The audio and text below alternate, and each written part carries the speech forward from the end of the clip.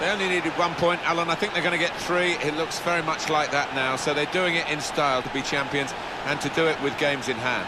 Yeah, they've shown us what they're all about out there today. Score goals and been good at the back too. They're going to be worthy champions for me. And what a strike from him. Laces miles out. Keeper no chance, top middle.